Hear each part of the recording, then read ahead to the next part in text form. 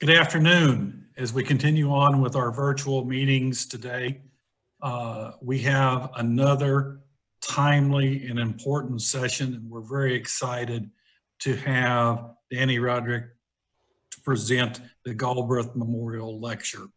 Uh, and I think this title uh, is is truly fascinating, given how many in our profession work on issues that involve significant trade uh, and international uh, exchange. And so we're really, Dani, we're really looking forward to this presentation.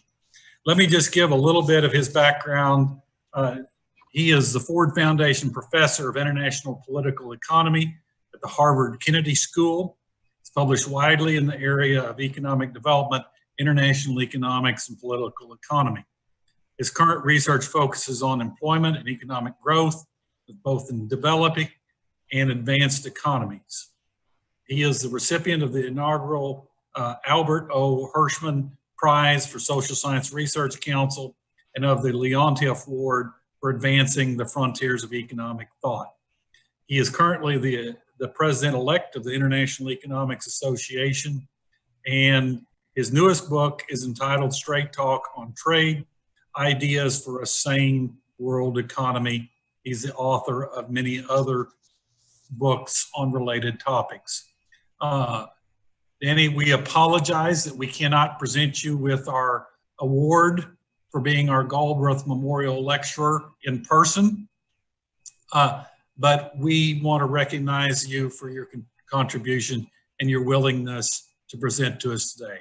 So I will uh, uh, stop with the introduction, but say to the audience that if you have questions for him, uh, I will be sitting here watching the question queue uh, and feed him questions at the end of the presentation. Dani, the floor is yours. Um, good afternoon. Thank you very much, uh, Keith, um, for the introduction. Um, thanks to the um, AAEA for the um, for the invitation. It's it's, uh, it's great to be with you in a, in, in, a, in a manner of speaking. Um, we're all getting adjusted to this, uh, to doing these things virtually and and and remotely. But uh, it's it's it's a great honor to have been asked to do this and and and to give the Galbraith uh, Memorial Lecture uh, uh, this this year. as I was um, thinking about um, how to present my talk, um, I, I, became aware of um, uh, a, a, a, letter that um, uh, John Kenneth Galbraith had uh, circulated inside Harvard, um, which Irwin Collier um, dragged out in his in his blog, and and uh, and and I, it, it's a um, uh, it, it's a letter where he is uh, essentially back in 1972. He is um, uh, recommending to um, the president uh, of the university that the Department of Economics uh, should really be split into two. Um, and, and, and this, of course, reflected the ongoing debates in the economics uh, um, department at Harvard, but also some ongoing um, and perennial debates uh, in the economics discipline between those who um, were pursuing a more mainstream um, uh, work um, of, of theory, methods, econometrics, and, and, and, and sort of an alternative uh, which Galbraith uh, uh, valued and, and, um, and, and, thought that deserved its own department, which was much more uh, a kind of social economics and economics that was more practical and dealing with um, uh, policy problems. And, and in this little quote in his inimitable style, um, uh, Galbraith is, is, is chiding um, his, his, his colleagues um, and, and, talking about how the division in economics um, uh, you know, covers not just the polemical folk tendencies of academic life, uh, learned delight in self-assertion, uh, um, our sensitivity to the intellectual shortcomings of others, uh, but it also um, goes deeper um, into um, uh, uh, matters of acceptance or rejection of established economic institutions, acceptance or rejection of accustomed preconceptions of economic thought, the trade-off between precision uh, uh, versus uh, sort of more innovative, critical, or, or what he called experimental uh, uh, work. Um, and, you know, in, in some ways, I think the subject that I'm going to be talking about, the analysis of globalization, um, has uh, has suffered from some of these divisions in in, in the sense that uh, many of the things that perhaps should have been obvious to um, uh, eco economists at the outset about potential problems, about a potential backlash, about many of the distributional costs of the policies we're pursuing. Um, and, and that perhaps um, would have been um, uh, a keen observer like Galbraith would have been much more perceptive on those that, than, than many mainstream economists were. Uh, I would say on the other side, however, um, that I think uh, there has been significant changes in the economics discipline since these lines were written by Galbraith in the early 1970s. Um, economics has become both more technical but also more empirical and more applied. And I think uh, the fact that it's become more empirical um, has um, somehow acted a, a, more as a shield um, against uh, what um, Galbraith here calls um, accustomed preconceptions of economic thought. And I think economics as a discipline um, has become uh, more open uh, uh, by virtue of uh, sort of being much more grounded in an empirical reality. And I'll talk a little bit about some of the uh, empirical findings that um, I think is now giving the economic analysis of globalization a, a, much more nuanced and I think much more relevant um, um, uh, uh, uh, take. The, the, the, the, my title is um, Has Globalization Failed Us? And so the immediate question that is raised is uh, who is us? Um, in most directly, us might be the US, uh, but I want to talk briefly also about two additional cases, two uh, developing countries, China and Mexico, which also um, uh, have experienced very different um, paths under um, the globalization experience of the last 30, 40 years. And I think the US, the US, China, and Mexico cover a gamut of experiences, which I think are, um, are uh, is, is, is quite um, telling uh, and, and teaches us a lot about the kind of globalization that we've had. Um, and then uh, roughly in the second half of my presentation, I want to uh, maybe turn a little bit more normative and prescriptive uh, and talk about um, how in fact we can envisage different types of globalization, and some of them uh, might be better than others, and, and, and open up a menu um, of uh, different types of globalizations, and, and so we can make more informed choices uh, as, as, as we go um, um, uh, forward uh, with the idea that, that really globalization is not just sort of one uni, unidirectional uh, kind of a thing that either we're moving more to, in the direction of more globalization or less globalization. In fact, there are many dimensions uh, along which we can make, make some choices. But let me start um, uh, with the United States and um, a, a, particular study that, of course, um, I'm sure everybody is, is import penetration. Um, and here, uh, this map uh, shows where the, the worst hit areas were uh, with the dark uh, red color. Um, it was clear that, that, that many parts of the country um, were, did not, um, let alone benefit, were, were actually adversely affected in terms of losses of jobs, uh, which uh, were not, um, um, did not really come back um, for more than a decade or so. Uh, the Autor uh, Dorn and Hanson study is, is, is um, relatively uh, well known. Um, another study that, that I like, which um, is uh, somewhat less well known, um, actually refers to the experience with, uh, with NAFTA, uh, not the China trade shock. Um, and this um, study, in a somewhat similar fashion, looked at different communities in the United States that were competing directly uh, with uh, imports from Mexico. And when the tariffs were zeroed as a result of um, uh, um, the NAFTA in the mid 1990s, uh, that, that those communities that were particularly badly hit were those that were directly sort of head on in competition uh, with, uh, with Mexican exports. And as this little passage says, it wasn't that these tariff reductions um, were associated with substantial reductions in blue collar wages of workers that were wor working in those plants, uh, but it's also in the same uh, localities, in the same communities. Workers working in service industries uh, also um, uh, suffered um, uh, somewhat significant declines uh, in, in, in incomes as well. So these distributional effects are largely um, along sort of regional lines of, of communities, regions that were directly competing with Chinese or Mexican uh, imports um, uh, were uh, certainly um, were by those who felt these impacts were um, were, were sizable.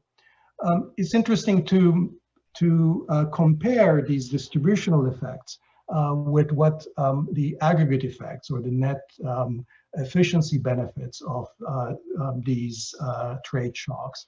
Um, a, a, a, particularly uh, detailed and, and, well done quantitative uh, study of NAFTA's uh, efficiency uh, effects in the United States uh, finds that even though it had the uh, NAFTA had significant effect, effects on the volume of trade in the United States, it had actually tiny, tiny effects on aggregate real income. so the number that's highlighted on this table is 0.04% increase uh, in, um, in, in, in, welfare for uh, the United States. That's the efficiency benefit from NAFTA. That's not 4%, it's 0.04%. Um, and, uh, you know, from the perspective that, that you know, Mexico overall uh, is, is, is a relatively uh, small country with respect to the United States, maybe it's not, um, uh, it's not um, very surprising. But uh, what really stands out here is the magnitude of the distributional effects relative to the efficiency gains. And it's one question uh, that I'll come back to um, in, in, a second. Um, now, uh, these, uh, these sort of empirical results, the distributional and overall uh, economic efficiency gains uh, of two of the biggest trade shocks that hit the United States uh, the last uh, few decades, NAFTA and China's entry into WTO. Um, they're not really surprising from the standpoint of economic theory uh, because the standard economic theory says, and I'll, I'll summarize this under three headings. Uh, first, that uh, reducing barriers at the border generally enlarges the overall economic pie. Um, uh, there are some caveats, of course, that I'm not going to get into with regard to market uh, failures. Um, secondly, um, uh, the implication that, that not everyone is going to win, that there are going to be um, uh, some important distributional effects, uh, but that we need to really focus on the relevant margins where those distributional effects likely to happen. And I think what happened uh, with things like um, the WTO or NAFTA was that initially we're looking at uh, the wrong places, looking at capital versus labor, skilled versus unskilled labor. Um, and while there were some effects there, they were not nearly as large as when we looked at the regional margin, that, that uh, labor turns out is not as uh, mobile as we thought, and that many of these distributional effects were uh, were were played out on a spatial, uh, reg regional uh, scale rather than on, a, on, on, on factor or occupational uh, kind of, of, of, margins. The third, and probably um, the least um, recognized aspect of economic theory with respect to opening up to trade uh, is that as the trade barriers get smaller and smaller, that is to say, as we're moving uh, deeper and deeper into globalization, uh, redistribution tends to loom much larger uh, compared to the magnitude of the efficiency gains. And that's an important point. Um, and I, I, I want to uh, um, elaborate on this a little bit, partly because it's not very well understood. Uh, but first, with respect to, of course, uh, just the distribution, um, uh, with a famous th uh, theorem of Stolper and Samuelson that says that um, in a very, very limited model, two by two model, full intersectoral mobility of factors, uh, that we have a very stark result that when we liberalize the trade, that one of the two factors is made absolutely worse off. The real income of one of the two factors uh, declines.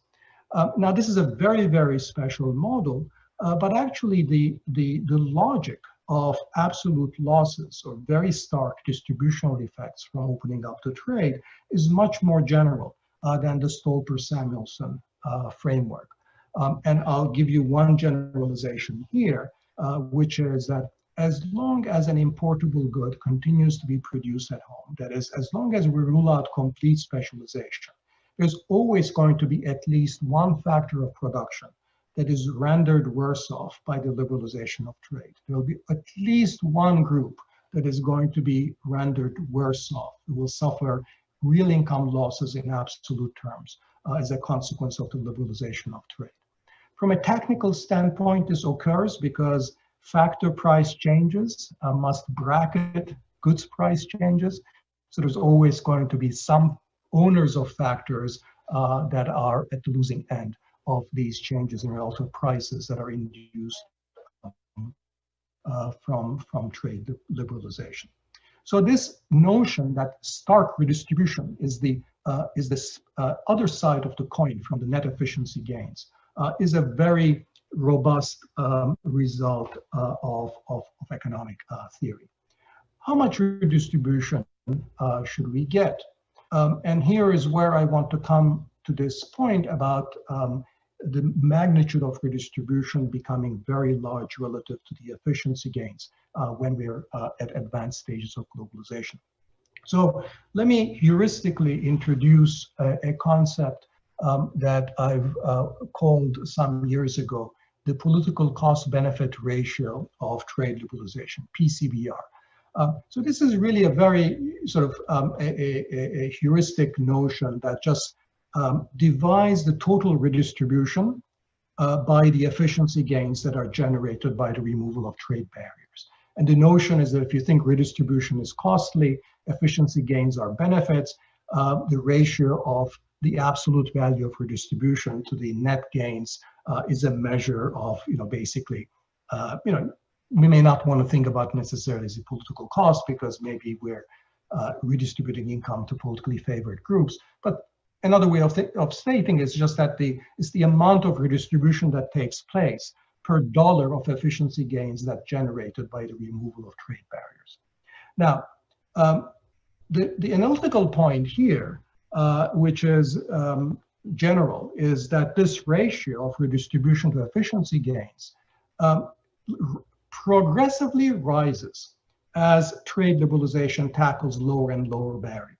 So that's what I mean by the redistributive cost of liberalization getting to be larger and larger as we go deeper and deeper into globalization. As the barriers get lower, uh, we distribute more per dollar of efficiency gain. What is the intuition for this? Uh, well, um, uh, first, it's really the in, intuition is really driven by what's happening in the denominator uh, of this ratio, uh, the efficiency gains. Because import tariffs are just like a tax, and their efficiency cost rise with the square of the tax rate, which means that for high taxes, we have disproportionately large gains from liberalizing. But for low taxes, we have disproportionately lower gains. So the denominator is highly nonlinear. Uh, the numerator, however, which is the amount of redistribution that we get, depends purely on relative price changes. So that is approximately linear. Uh, so that we have a numerator that's linear, uh, a denominator that becomes smaller and smaller at the margin uh, as the barrier, trade barriers get smaller. Um, and therefore, as a result, uh, we have that this ratio of redistribution to efficiency gains becomes smaller and, uh, I'm sorry, larger and larger um, as globalization advances, which I think is one way of understanding why politically it becomes more divisive. Uh, so I've answered the question of how much redistribution uh, um, analytically, but it's also interesting to sort of do just some basic um, sort of quantitative simulations. So here's you know two very simple simulations. One is just uh, just a, um, a, a, partial equilibrium uh, supply and demand framework And then the second one on the right-hand side is a general equilibrium two by two example. Um, and uh, what, what I've circled here is basically this PCBR ratio or the redistribution uh, per dollar of net gain. And you can see that those go from maybe a multiple of five when tariff rates are 40% uh, to multiples of 20 or more uh, when the tariffs rates start falling uh, below 10%. So if you look at um, sort of the, um, uh, the, uh, the, the, the right-hand side panel, when the initial tariffs are at the level of about 5%, at the margin, liberalizing those tariffs are going to redistribute uh, roughly $45 per dollar of efficiency gain that's being generated, which is of course huge, but that's just in the logic uh, of, uh, of, of, of, the model, which is that we're really um, you know, chasing after smaller and smaller efficiency gains and the distributive effects are becoming larger. Now, the, the question that might immediately be raised is, you know, maybe, you know, sort of the problem wasn't with the economics, the problem is just with the policymakers that simply did not compensate the losers.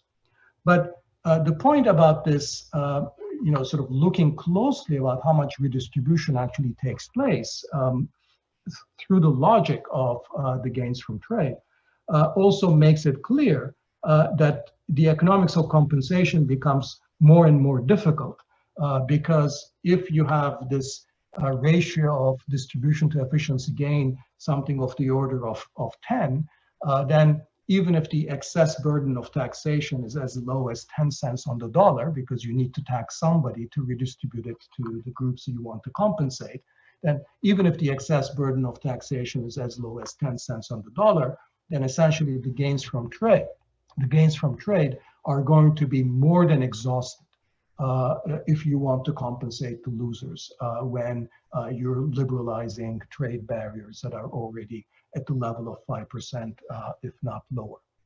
It's even worse when we take into account that this is a period also when uh, capital has become uh, interna internationally more mobile, um, and that means that the burden of redistributive taxation has to fall on workers. And we see it in a declining uh, uh, corporate tax um, rates. Uh, uh, we see it with sort of the, the, tax burden being felt more and more on, on the immobile uh, factor and labor. So in some sense, compensation also becomes somewhat self-defeating. There's also a, a, political logic to why compensation um, in, uh, in, in practice has not um, uh, worked very well.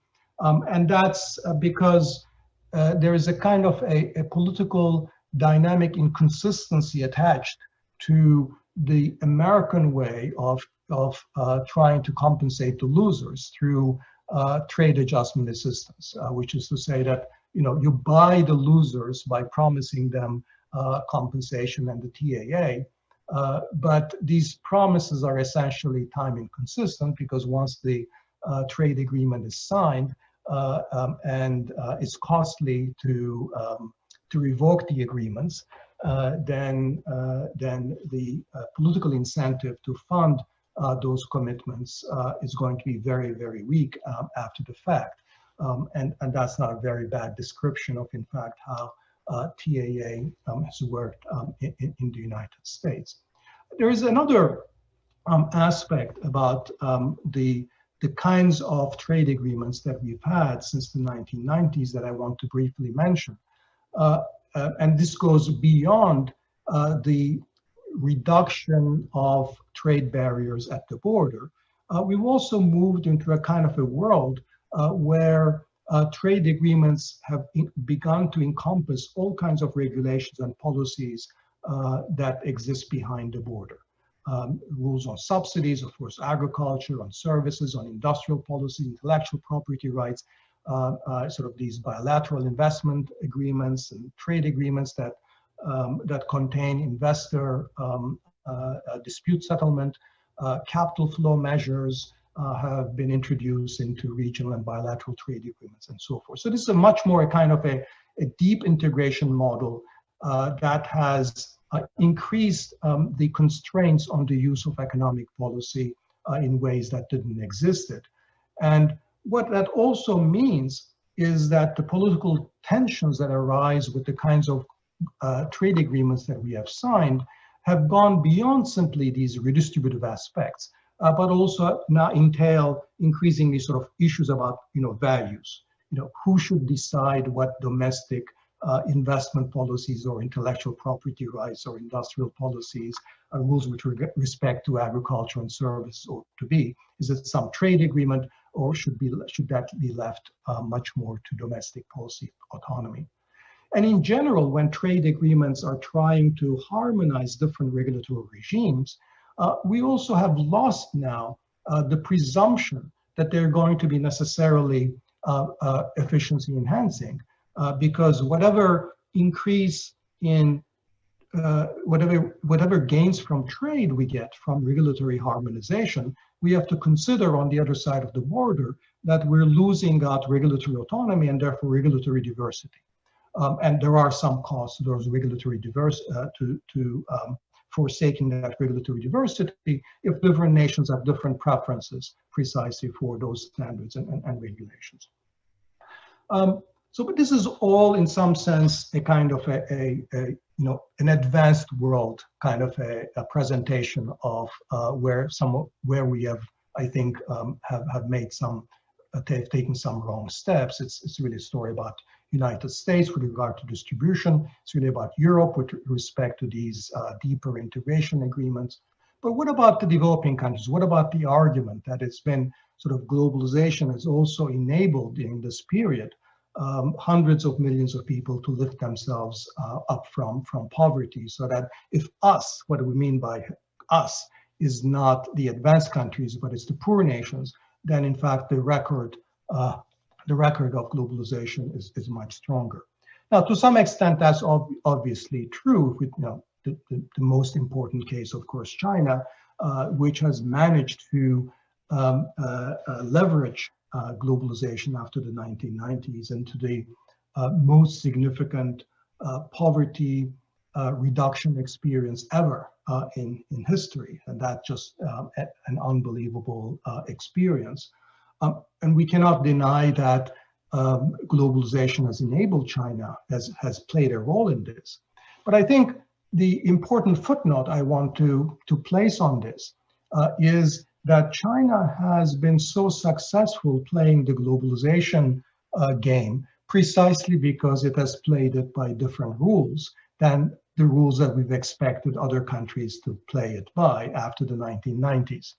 Um, so uh, basically, um, you know, unlike the post-1990s expectation that countries would essentially become market economies with more or less sort of predominantly private ownership, would sharply reduce their trade barriers, would have liberal investment regimes, uh, would harmonize their intellectual property rights regimes, would, would enable free mobility of capital and their currencies to float.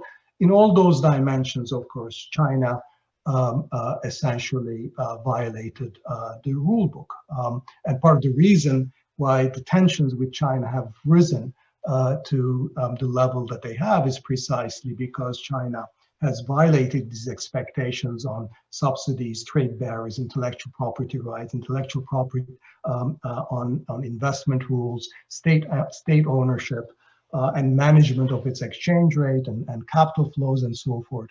Um, that even if they do not violate any particular WTO rule, uh, they certainly violate the norms of the post-1990 understanding of what the rules for globalization was. So one uh, Chinese policymaker uh, once described to me um, how uh, China managed globalization by saying, you know, it's like China opened up the window uh, to the world economy, but also placed a mosquito net. Um, so that you know you get all the fresh air from the world economy, but the mosquito net uh, prevented all the sort of harmful elements uh, from uh, from from coming in. It was a very kind of a mixed uh, kind of a policy that was much more in line with, uh, if you will, like a kind of an earlier conception of globalization, a much shallower model of globalization in terms of some domestic economic policies that had some uh, parallels with the Bretton Woods era, pre-1990s understanding of uh, how to do globalization. And I'll come back to it uh, in, in, a, in a second. if you want to find, if you want to look for a developing country that actually played by those rules of the post 1990s ideal, so the, you know, the, the post 1990 ideal that's sort of uh, summarized in this slide, uh, you can't, you know, sort of, um, you know, you can't do worse than, you can't do better uh, than, than Mexico. Uh, essentially, Mexico made uh, unilateral and sort of, you know, signing of trade agreements, NAFTA, unilateral reduction of trade barriers, uh, free flow of capital, management, you know, sort of, uh, uh, all of that, it's the centerpiece of its economic development. Uh, sort of opening up to the world economy became Mexico's development strategy uh, after the um, late 80s. Um, and it's, it's, it's, um, and if you look at, um, uh, you know, sort of indicators of indicators of foreign trade and foreign investment, which is on the uh, right-hand side of this slide. Um, you can see a definite sort of uh, doubling or tripling of uh, exports and FDI shares in GDP after NAFTA. So, uh, so in terms of foreign trade and foreign direct investment, it's certainly um, NAFTA and all its own trade reforms at the same time uh, did work. If you look at where it really matters in terms of uh, per capita income and overall productivity, uh, it did not work at all. Um, in fact, um, uh, uh China, I'm sorry, Mexico's uh, per capita income level essentially uh, stagnated vis-a-vis -vis the, um, the, the, the, the, United States. Um, and, and, and overall productivity growth in Mexico after the 1990s was abysmal uh, compared to the period, let's say 1915 to 1980, when it was a much more protected uh, economy. Now, why has this happened in, in, in Mexico? Uh, it has happened because largely globalization has aggravated um, Mexico's productive dualism. Uh, as you know, the north of the economy, in Mexico did rather well. Um, the south um, and much of the central parts did not do very well. We see this in a kind of productive decoupling uh, in the economy between the best performing firms, uh, the best performing industries, uh, the best performing regions, and the rest. And this decoupling is not such a bad thing uh, if the part that is productively more advanced absorbs the rest of the economy. So resources are moving from the less productive to the more productive. But in the Mexican economy, that has not been happening. Uh, the most productive pockets uh, in the north and in particular industries in Mexico have remained small and they've actually in terms of their employment share, they've shrunk relative to the rest of the economy, which is why the aggregate uh, is doing uh, is doing so is doing so poorly. Um, so if we were to sort of sum up um, the income effects of um, you know so you know it's not just globalization, of course, that's captured in this picture, uh, which is, you know, the, the famous um, uh, elephant uh, curve that uh, Branko Milanovic uh, first uh, drew. Um, and what we see is that that basically, this is the post 1990 period has been extremely good for the, the, the wealthiest in the world, the top 1% that captured more than a quarter of total economic growth during this period. Um, much of the uh, sort of the, the, the bottom 90% uh, in the US and Western Europe didn't do as well. So th those that's the middle part of this distribution that, that got squeezed.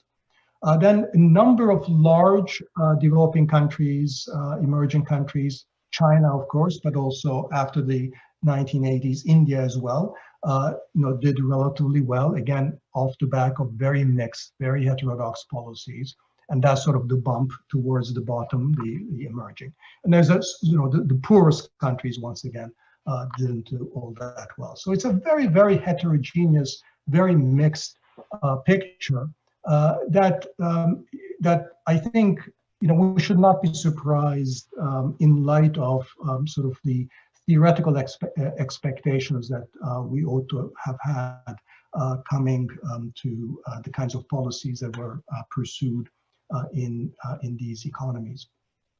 Um, I'm I'm since you know I'm I'm I'm running out of time. I I, I just want to say uh, maybe spend maybe um, five minutes or so talking a little bit more prescriptively uh, about um, sort of how can we broaden our vision, uh, what I call the sort of designing uh, a globalization regime. We and, and this is so this is a question that's really beyond simply, you know, moving forward or backwards on this sort of, you know, just a, a single dimension.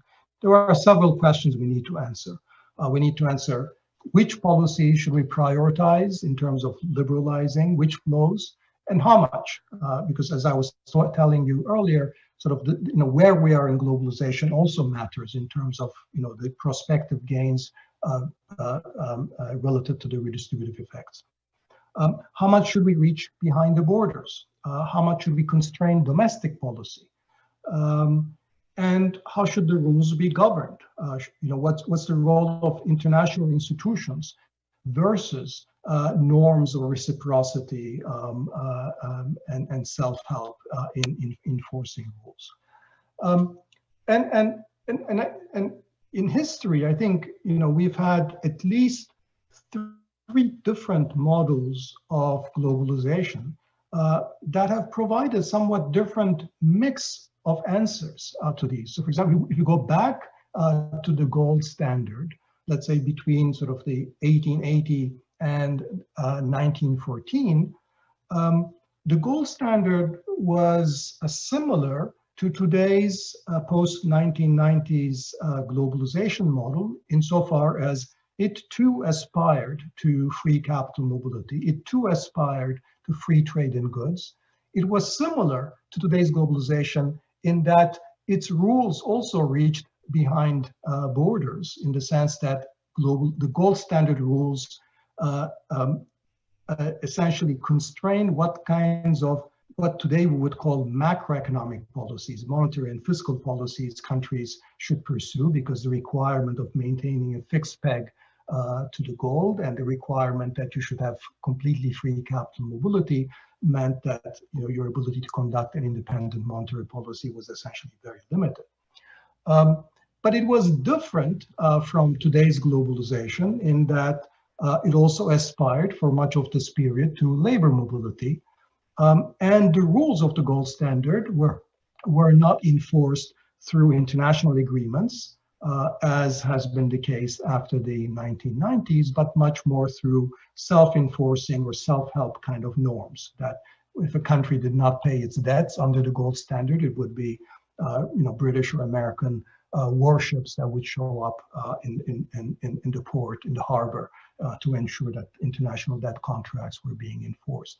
Now, the Bretton Woods period, uh, uh, roughly between the end of the Second World War and into the 1980s, I would say, uh, really was a much shallower model of globalization that really aspired to free trade in goods and, and, and in a very narrow, narrow range of such, which really just manufacturing. Uh, but in many ways actually was very successful if you look at measures of growth in incomes, productivity, even trade and, and foreign investment. Um, so obviously we should aim to have, uh, to grow the size of the pie, but we should also care about how the pie is distributed. And we should care about political accountability. That is the degree to which rules uh, of uh, the global economy are uh, accountable and respond uh, to different preferences and needs in different countries insofar as poor countries and rich countries might have different uh, needs in terms of economic policies or might have uh, different views with respect to health regulations or services and so forth. And here the tensions are one uh, is you know what I would call a kind of an Adam Smith versus Friedrich List kind of a tension, reaping the gains from trade by uh, um, bringing the barriers down versus reaping the gains from productive diver diversification by ensuring that you're stimulating or at least protecting some of your uh, uh, manufacturing or your productive base. Um, there is a, a, tension that arises from how the pie is going to be distributed, which my earlier discussion of the Stolper-Samuelson theorem and its extensions uh, alluded to. Uh, so we want to make sure we pay attention to these distributive costs, uh, and we want to be clear that we're making the right trade-off uh, between the gains from trade versus the gains from regulatory uh, diversity. um, and, and, and those are sort of where uh, the, the, the, the, tensions that, that we need to manage. Now, um, uh, the standard economics of trade um, tells us that um, for the most part, in international economics, virtue should be its own reward. That is that if you're taking care of your own economy and society, freer trade is generally going to expand national welfare. Of course, subject to this you know, being able to redistribute domestically. The key point here is that there isn't a huge amount of conflict uh, between what countries, well-governed countries, left to their own would do and what an open world economy requires. That is to say that in general, there should be a strong presumption that well-governed countries will choose nearly globally optimum policies. And the two categories of major exceptions there are policies that would be called beggar thy neighbor policies, like an optimum tariff policy, or policies with respect to maintaining global public goods, which today, of course, uh, you know, global uh, sort of issues about uh, public, global public health, or of course, global climate change would fit under there.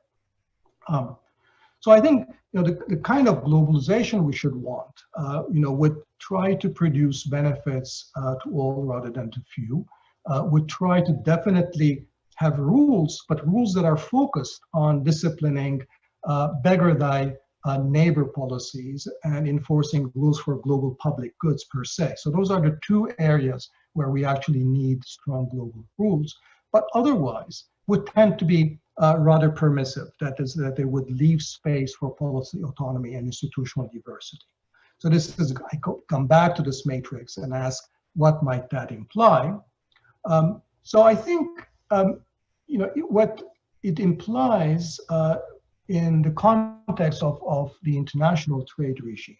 It implies a kind of a world where, um, with respect to what is currently the most contentious trade relationship, the US versus China relationship, uh, it, implies a much more um, a, a, peaceful coexistence type of a regime where uh, the United States understands that China has very different economic regime, has very different economic institutions, um, and that, uh, that th those institutions aren't going to go away.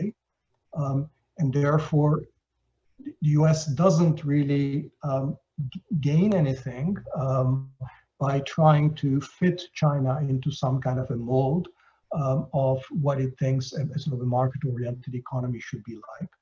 I think by the same token, I think China needs to understand uh, that there are genuine concerns in the United States with respect to uh, protecting the integrity of domestic innovation systems, protecting labor and social standards in the US and Europe, you know, concerns about human rights in China that will often imply that the United States might have to, or Europe might have to put restrictions on certain kinds of trade, certain kinds of investment flows, uh, investment flows.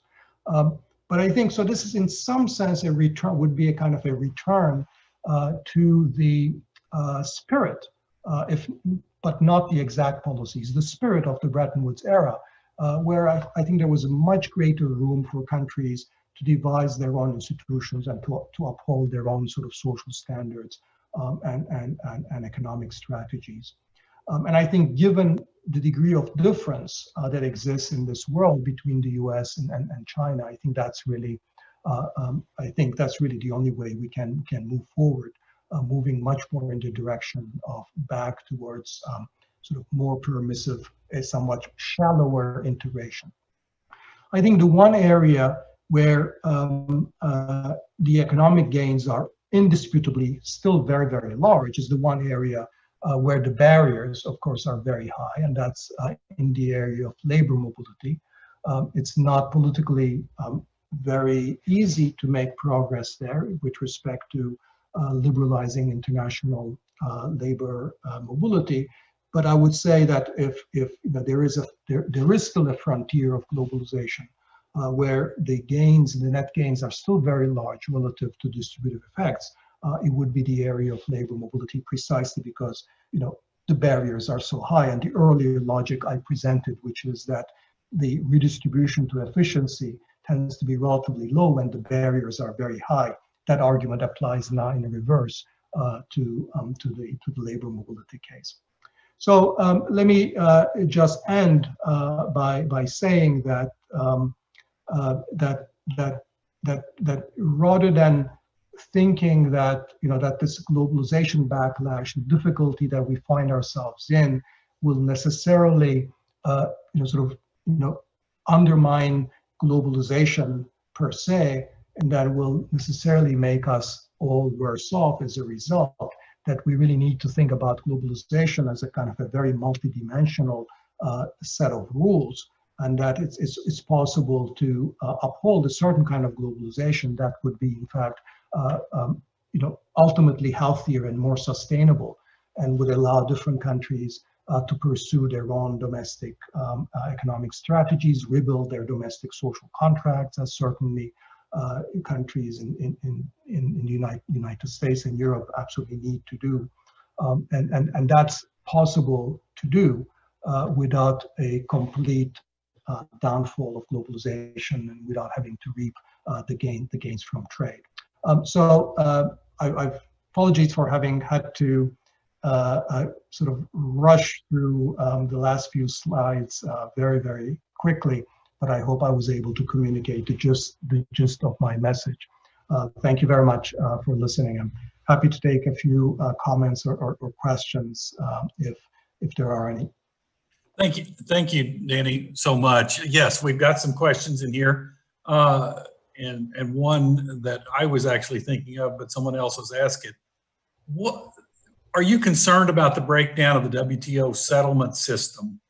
Uh, and has it put us into a world that get like where powerful countries have veto power over reform?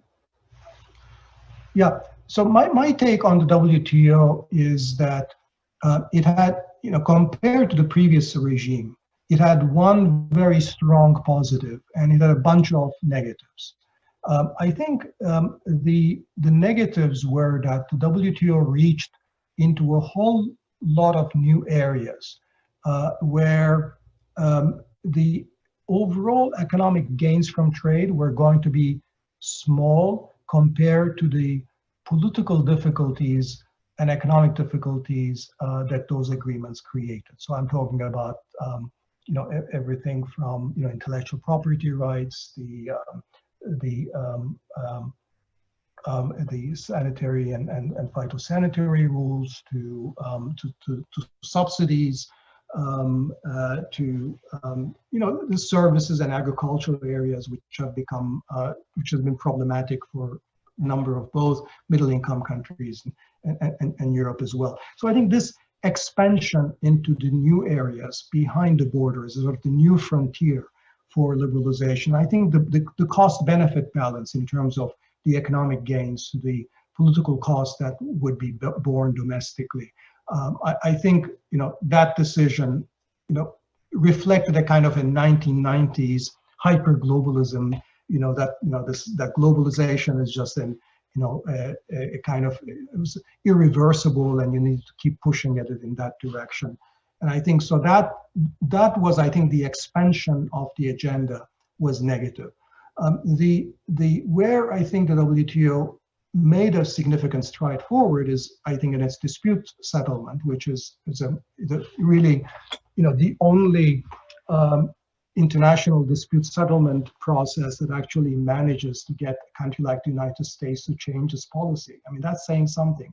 United States have actually, in some cases, changed its policies because of some international tribunal, which really hasn't happened as far as anywhere else except for in this in the area of trade.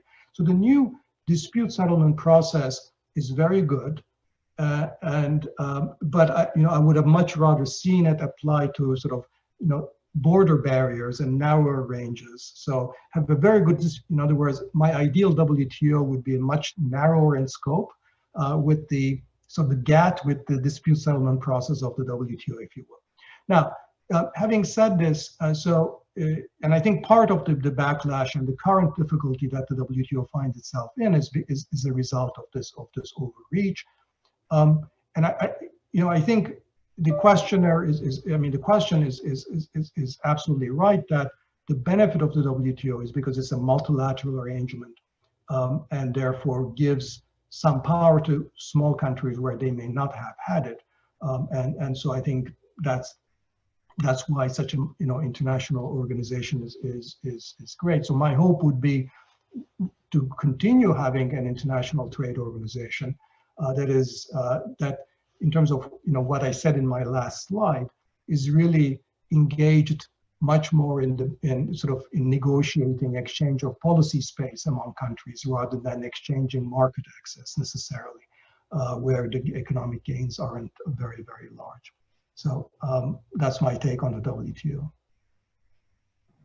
Uh, another question concerns if one is one is focused on the welfare of the very poorest of laborers in various societies, what kind of remedies might you suggest uh, to help those groups?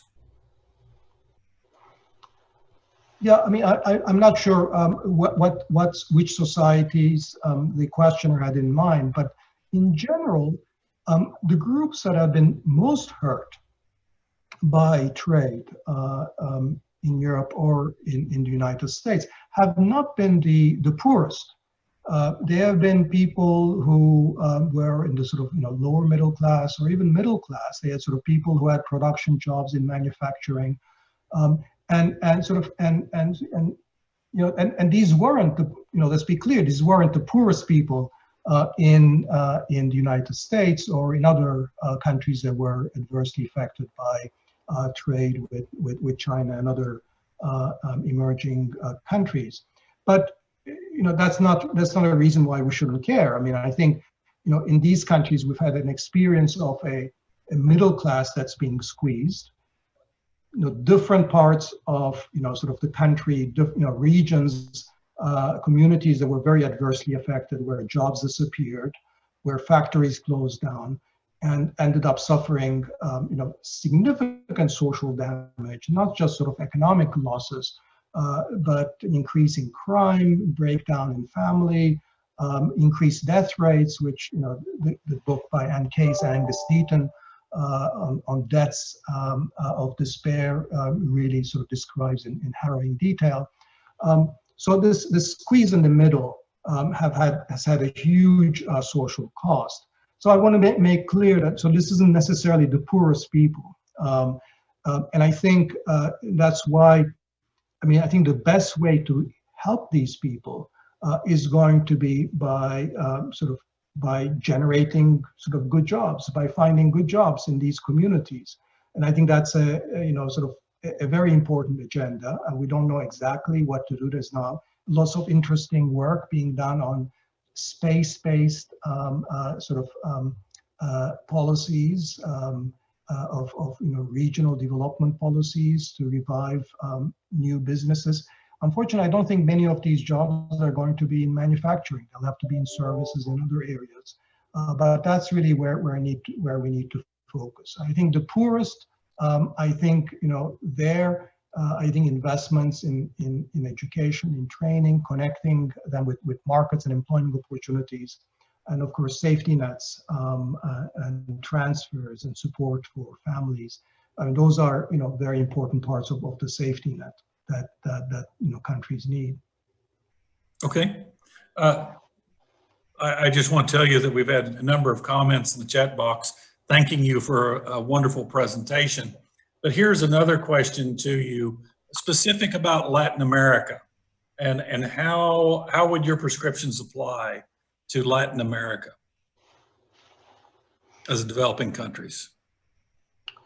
Well, uh, you know, uh, Latin America experienced, I mean, I think the, the, the, Mexican case that I briefly talked about is, is, is a kind of, um, uh, you know, in, in, in one, in, in some ways or other, I think most uh, sort of middle income Latin American countries have experienced a version of this, which is a kind of a, a, a process of uh, deindustrialization, um, and um, you know sort of a, a kind of disappearance, um, weakening of uh, the good jobs uh, in in these economies. Now, unlike in the United States, um, and we were talking about the very poor in in uh, in, the, in in in the previous question. Uh, but unlike in the United States and many countries in Europe, uh, actually um, Latin American countries did much better addressing the needs of the very poor. In fact, starting with Mexico in the 1980s, um, uh, which began to experiment with conditional cash transfer programs, uh, Latin American countries started significantly ramped up uh, transfers to the very poor, uh, increased in, in, you know, education, investments in education and health. And, and this really showed up uh, in improved um, social indicators and, and in fact, declining inequality because the bottom was coming up. So Latin America, including Mexico, uh, during much of this period, in terms of overall inequality, um, uh, did better because I mean, in terms of, I mean, they started being very unequal, but inequality declined until recently in many Latin American countries uh, because of much better uh, social policies and social protection. Uh, but where, you know, where we didn't get the, the gains are in terms of generating productive economic opportunities for the bulk of the labor force, in particular in the middle. Um, and so the, the, you know, the rich did very well. Uh, the poor, you know, sort of were brought up through um, these transfer policies and social protection schemes, investment in education. Uh, but the, the, productive middle of these economies uh, bas basically just collapse. And, and so that's, again, is the area where we need to come up with new kinds of policies to think about how, you know, sort of these economies um, can generate, uh, you know, sort of productive jobs for the middle of the um, income distribution, for the middle of the the the, the, the labor uh, force that they have, and and that's this is not a universal problem that I think all countries are facing, uh, given the you know sort of technological change, uh, the industrialization, uh, the kind of pressures from globalization, was all aggravated, of course, by uh, by the current um, health situation. And, and, I'm going to try to slide one more question in here before we run out of time. But uh, I've got a question here about: Do you think environmental labor slash labor provisions and trade agreements could cause increased income inequality uh, between countries? Well, I mean, I so one question is whether if countries, if, let's say countries were engaging in trade policies uh, that occasionally kept imports from lower cost countries out in order to pursue uh, domestic, in order to ensure that domestic labor standards and domestic distributive goals were met, would this impose a very significant cost on low-income countries?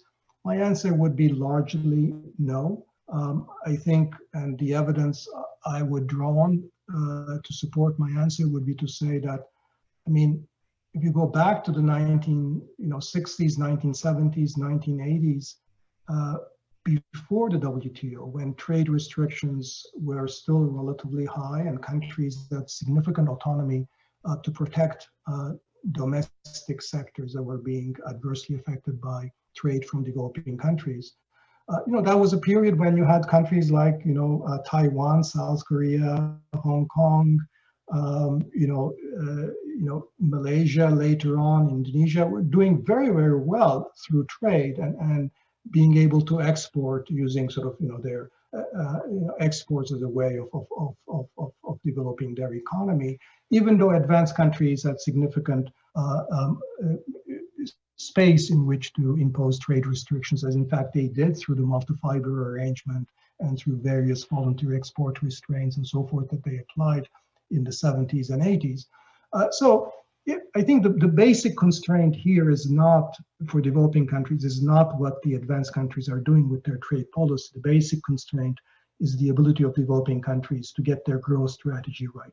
And I don't think um, uh, that the if the advanced countries were to engage occasionally in what we derisively would call protectionism, that would be necessarily a very um, um, uh, big handicap. I would say the same about environmental goals. I mean, I would say develop, uh, if advanced countries seriously engage in decarbonizing their economies and then start imposing uh, uh, carbon border adjustments, uh, duties on carbon intensive goods at the border, uh, you know, that might impose some cost on exporting developing countries, but you know, I think that's going to be good for the world and the climate as a whole, and would be something that I would support given the, the long-term benefits.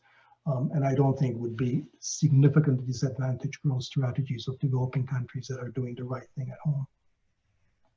Well, Dani, I want to thank you again for giving this presentation, and I wish we were in person uh, so that I could make the presentation to you.